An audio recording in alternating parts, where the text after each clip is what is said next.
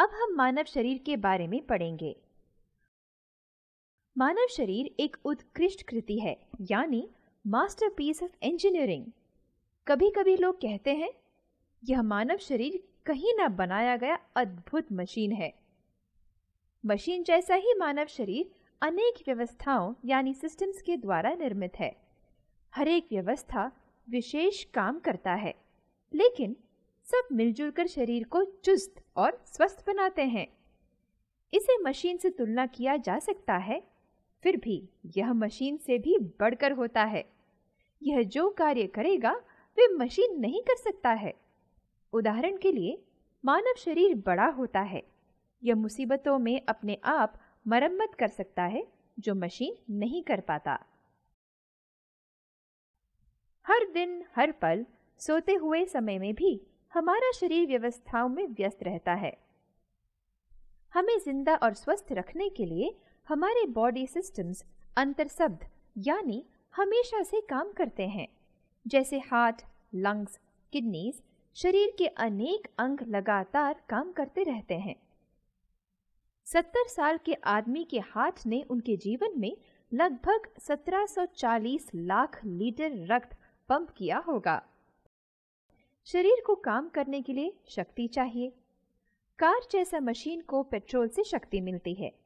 अपने शरीर को काम करने के लिए शक्ति कहाँ से मिलेगी? खाना और ऑक्सीजन के द्वारा हमें यह शक्ति मिलती है। हमें पता है कि बढ़ने या काम करने के लिए जो शक्ति ज़रूरी है, वह खाने से मिलती है। हम जो खाना खाते हैं, क्या वह सीधा इस्तेमाल होकर शक्ति देता है? या उसे किसी प्रक्रिया यानी इस्तेमाल करने से पहले बदलने के द्वारा शक्ति देती है। डाइजेस्टिव सिस्टम आहार को पोषक पदार्थ यानी न्यूट्रिएंट्स में बदलता है, जिसे शरीर के हर एक अंग इस्तेमाल कर सकते हैं। यह शरीर में तैयार हुआ व्यर्थ बाहर निकालने को भी जिम्मेदार है। विस्तार में देखने से आहार शरीर के अंदर लाने, उसे पचाने ज़रूरी पोषक पदार्थों को अंतरलीन करना और व्यर्थ जो शरीर में ज़रूरत नहीं है, उसे बहिष्करण करने वाली प्रक्रिया डाइजेस्टिव सिस्टम है। तो यह हजम हुआ आहार या अंतरलीन हुआ पोषक पदार्थ यानी न्यूट्रिएंट्स कैसे सब अंगों तक पहुँचता है?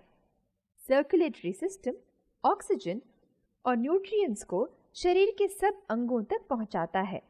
यह शरीर में तैयार हुआ व्यर्थ, यानी वेस्ट पदार्थों को भी इकट्ठा करके एक्सक्रीटरी सिस्टम में पहुंचाता है। इस तरह से अंतरलीन, यानी अब्जॉर्ब हुए न्यूट्रिएंट्स को शरीर में बांटने के लिए डाइजेस्टिव सिस्टम सर्कुलेटरी सिस्टम के साथ काम करना होता है। हमें सांस लेना क्यों ज़रूरी है? जीने के लिए हमारे शरीर को ऑक्सीजन चाहिए। वातावरण से ऑक्सीजन को अब्जॉर्ब करके सर्कुलेटरी सिस्टम तक पहुँचाने का काम रेस्पिरेटरी सिस्टम करता है। इस प्रक्रिया में CO2 यानी कार्बन डाइऑक्साइड बाहर छोड़ता है। रेस्पिरेटरी सिस्टम एयर फेफड़े तक ले जाता है। यह ऑक्सीजन रक्त में मिलता है और कार्बन डाइऑक्साइड सांस छोड़ने पर बाहर निकलता है। हम सदा सांस लेते रहते हैं। इसका मतलब रेस्पिरेटरी सिस्टम लगातार काम करता है। आप नाक और मुँह से सांस लेते और छोड़ते हैं, लेकिन फेफड़े मुख्य अवयव रेस्पिरेटरी ऑर्गन्स होते हैं, क्योंकि यहाँ ऑक्सीजन रक्त में मिलता है। यानी रेस्पिरेटरी सिस्टम का काम बहुत सीधा है। ऑक्सीजन को शरीर के अंदर लेना और कार्बन डाइऑक्साइड को निकालना। हमारे शरीर में अनेक सिस्टम्स हैं। इनमें से किसके अधीन में हम काम करते हैं? नर्वस सिस्टम हमारा सब काम नियंत्रण करता है। शरीर का सभी सिस्टम्स लगा रहने पर यह ध्यान रखता है। हम सब कुछ इसके नियंत्रण से ही करते हैं। यानी सोचना, निर्णय लेना, याद रखना, सीखना, स्वयं होने कार्य जैसे मांसपेशियों का हिलना, यानी वॉलंट्री एक्शंस अनैच्छिक कार्य, यानी इनवॉलंट्री एक्शंस जैसे सांस लेना हार्ट का पंपिंग आदि।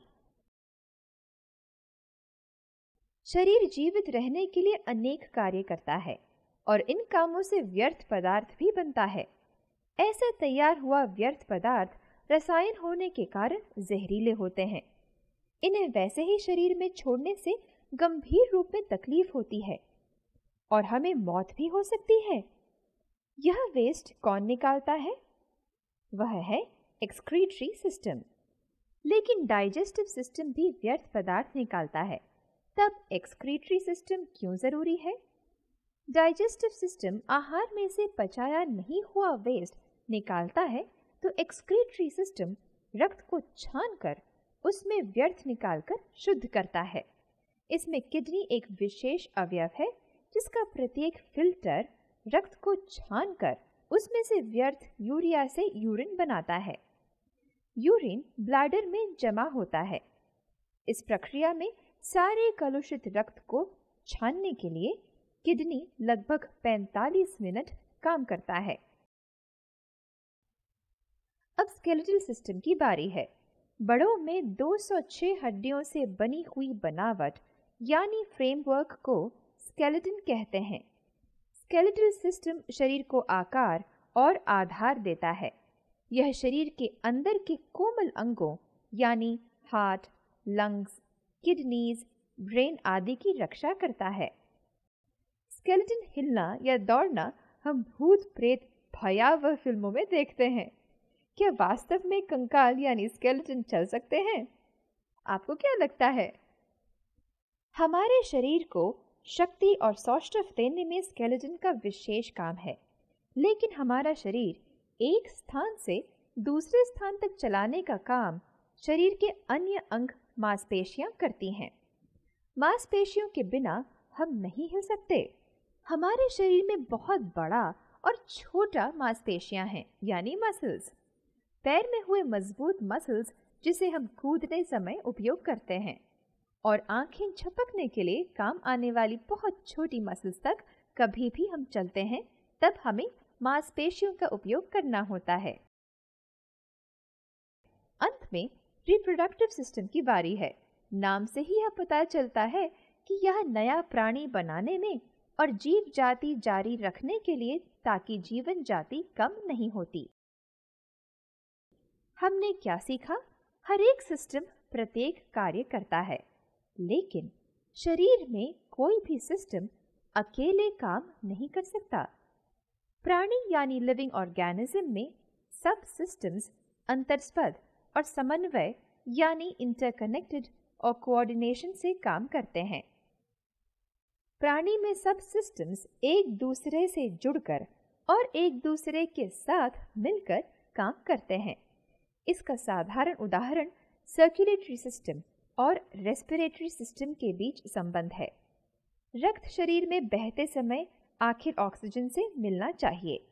इसे लंग्स में ऑक्सीजन मिलता है। लंग्स रेस्पिरेटरी सिस्टम का मुख्य अंग है।